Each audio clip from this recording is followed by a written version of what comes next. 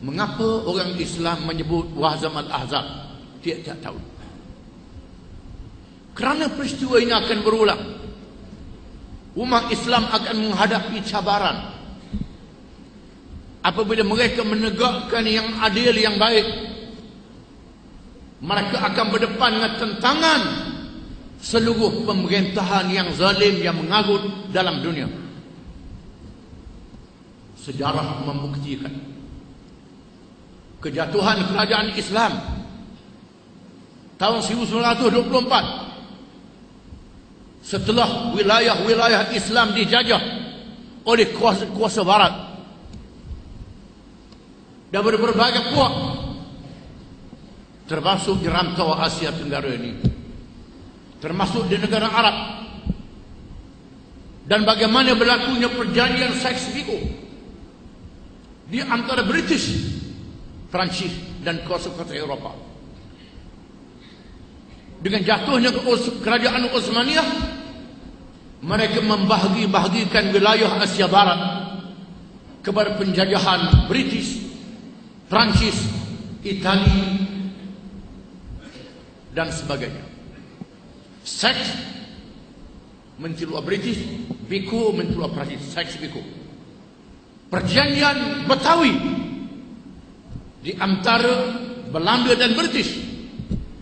Selepas mereka mengambil alih Portugis yang sudah lemah mereka membahagikan wilayah-wilayah Asia Tenggara kepada Belanda dan British. Ini apa kata Ahzab yang berterusan dan berpanjangan sebagai perkataan Ahzab yang berlaku di zaman Nabi sallallahu alaihi wasallam kalau perkataan Ahzab zaman Nabi bukan saja menggabungkan kumpulan yang asing daripada orang Islam. Yahudi mereka berjaya menarik sama orang Arab sendiri yang menyokong perjuangan mereka. Dan inilah yang berlaku dalam negeri jajahan yang dimiliki oleh umat Islam. Termasuk di negeri Asia Tengah pembahagian wilayah di antara Soviet Union dengan China Komunis.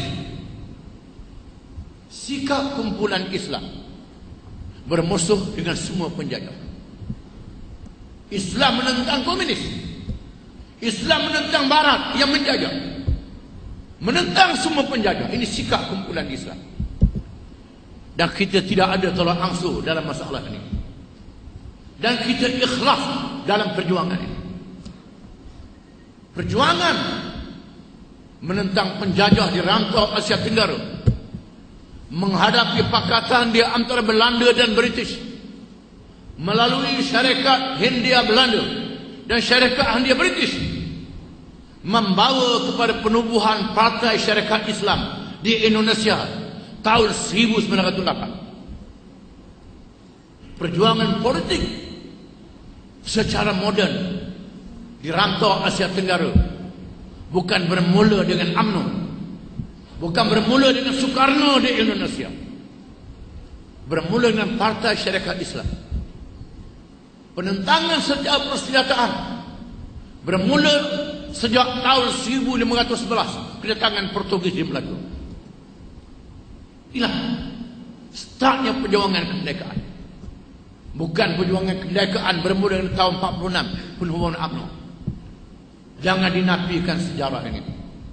Sepatutnya adik-adik sejarah jangan tutup fakta yang nyata dan baik. Pada syarikat Islam yang ditubuhkan di tanah Melayu diharamkan oleh British. Pemimpin-pemimpinnya dibuang negeri. Yang menyokongnya ada yang dihukum gantung. Dibuang ke pulau. Dibuang ke Mekah pun ada untuk menipu orang Islam. Namun perjuangan kemerdekaan tidak boleh dipadamkan.